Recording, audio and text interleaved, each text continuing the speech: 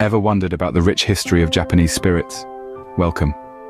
Today we journey through the captivating world of Japanese alcohol, exploring its diverse and flavorful landscape. Our voyage begins with sake, a rice wine that boasts a history spanning over a thousand years. From religious ceremonies to dinner tables, sake has marked its presence in Japanese culture.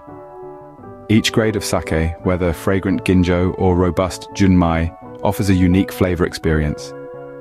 We then move to shochu, a distilled spirit that dates back to the 16th century.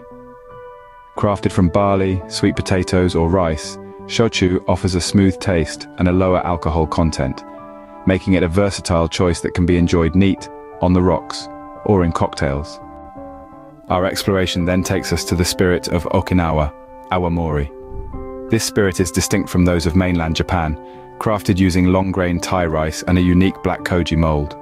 The complex flavors of awamori, a product of the Ryukyu kingdom, can be savored with water or on the rocks. We then delve into the world of Japanese whiskey, a rising star in the global spirit scene. Inspired by Scotch whiskey, Japanese whiskey has won prestigious awards and captured the hearts of whiskey enthusiasts worldwide. The craftsmanship and attention to detail in each blend are truly remarkable. Finally, we touch on Japanese beer. While not unique to Japan, the country has put its own twist on this globally loved beverage.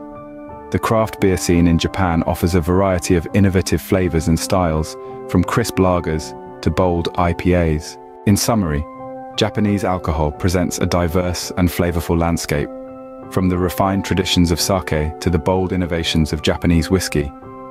Whether you're a discerning connoisseur or a curious novice, there's a Japanese spirit waiting to captivate your palate.